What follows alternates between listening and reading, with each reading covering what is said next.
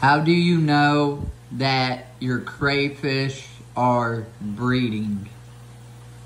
Well, they're kind of like humans in that sense. They get all sideways and up against each other and they do their do.